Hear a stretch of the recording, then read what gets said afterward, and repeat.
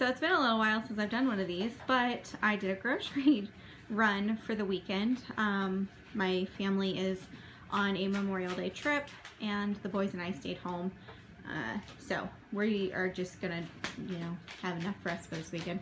Obviously some of this stuff is gonna last a little longer than the weekend, but I spent $133. What you're not gonna see is cat litter that I had to pick up for the kitty cats, um, and cat toys and that sort of stuff. That was already put away, but um, this is everything else that we got, and then Seth got a balloon making kit. So anyway, So if you hear there are things that I got that I'm not showing you guys.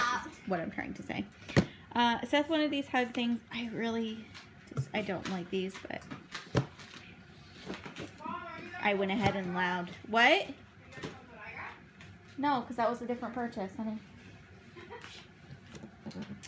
Anyway, one of these hugs, these little hug things. I don't really ever get these, so figured why not. Um, same thing goes with soda. They can have one a day, um, usually with dinner, uh, if they choose. Most of the time they don't choose, but this is Seth's, this is Ethan's, and they got them back that last like two weeks. Um, so I won't go back and buy any more. Hot Pockets, sugar, we're completely out of sugar. Um, Ethan wanted some Hawaiian Punch, the white water wave. It's like a coconut one. I got a Pepsi and a root beer because the kids have been loving Pepsi and root beer floats. So we got that. I've already got vanilla ice cream in the freezer. Um, Ethan wanted a sub or a hoagie uh, for lunch today and tomorrow. So I'll probably cut that in half.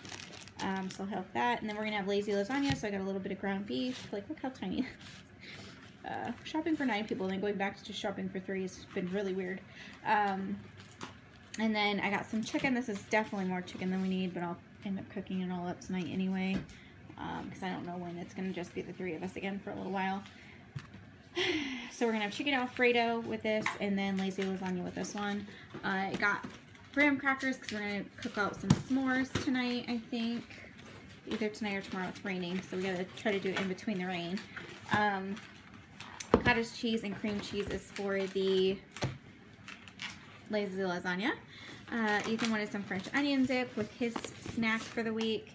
Um, we got Texas toast, so half of this is going to be for chicken alfredo and the other half is going to be for lazy lasagna. Um, Sethy wanted a Lunchable for his lunch today, so we went ahead and did that. And then he picked out some Danimals for snack.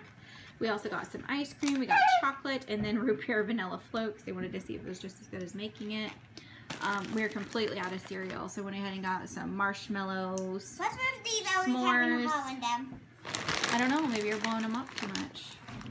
And then Reese's. And Ethan got these chips, Seth got these chips, and my sister had to give me cheese because I completely forgot to get cheese when I was out. Um, and I had stopped at her house on the way home. But, uh, dish soap.